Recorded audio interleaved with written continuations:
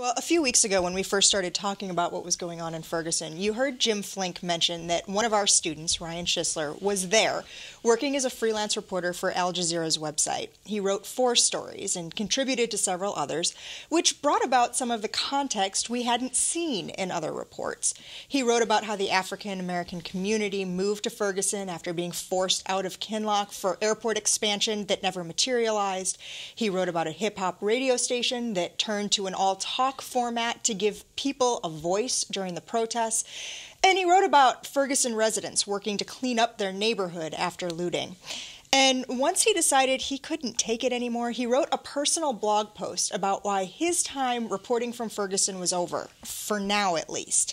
In it, he described seeing news photographers taking bricks from retaining walls to weigh down broadcast tents, others yelling at residents to clear out from their camera shots, even others making it entirely about themselves. He recalled specifically a journalist who said he'd come to the scene because that journalist viewed it as a networking opportunity, then handed Ryan a camera asking if he would take a photo with CNN's Anderson Cooper. Ryan is a very familiar face to those of us here at RJI. He's been a student of mine for more than three years, and I knew he'd made this decision. He'd contacted me at several points during his time in Ferguson looking for help and advice. Honestly, I wasn't going to bring this up to talk about today because I am so close to the situation, but longtime views of the news host, Rod Gelatt, sent it to me yesterday, not realizing that we know Ryan. And I thought we really should talk about it at that point.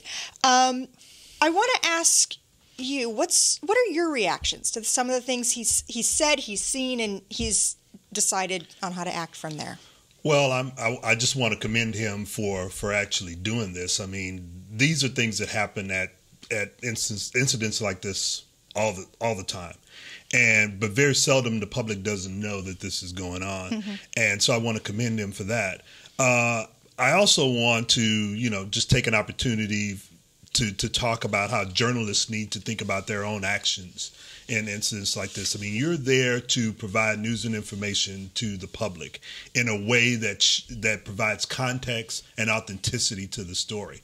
And and oftentimes, what I've seen in, in a lot of journalism these days is journalists becoming part of the story, and them becoming a part of the story sort of takes it away from what I think should be the authentic frame from which the information you're providing. And to me, it's just shoddy journalism and a lack of, of understanding and a lack of, of supervision on the part of some editors and, and some, some producers in reining this in. And it just becomes a circus. And we keep talking about this over and over again, where you see all these live trucks and, and all these cameras set up and, and, and networks going live with their morning shows and this sort of thing.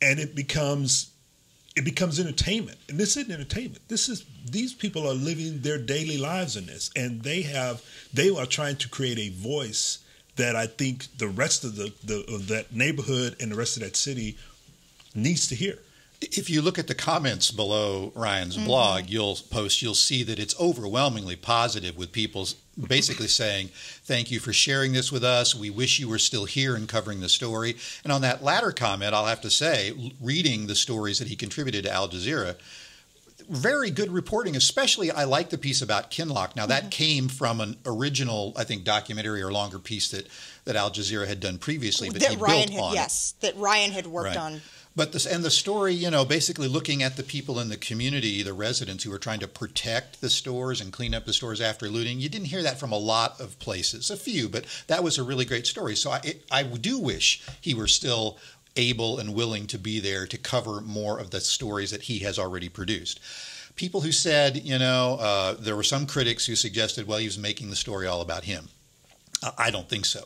I do think he was genuinely shocked. And if you look at senior journalists who've been around for a while, yeah. I think we're kind of inured to some of the how the sausage is made, and oh. we think we can divorce that yeah. from what we put out on the air or in, in publication. And he didn't. And it, having a fresh perspective on some of the things that journalists do that people do notice is a good thing. Yeah, I think I think also part of it is that I mean he was willing to basically air journalism's dirty laundry, yeah. so to speak and that was where a lot of the criticism came. But I think that they really need to to to po- start policing themselves in instances like this. There was one question uh, that was raised by a few folks, uh, including Jay Rosen at NYU, Yeah. a media ethicist, basically About that should he we should name have the named names? names. So, do you think it would have been more effective had he?